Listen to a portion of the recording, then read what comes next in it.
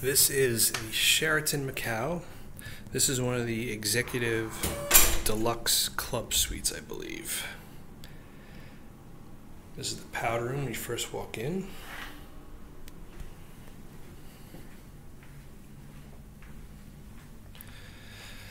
Little living room, dinette area,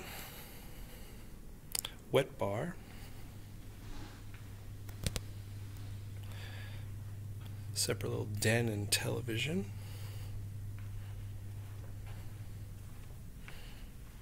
Master bedroom. And a banging tub. Toilet.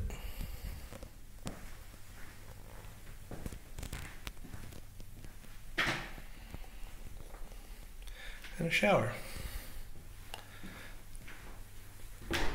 Plenty of closet space.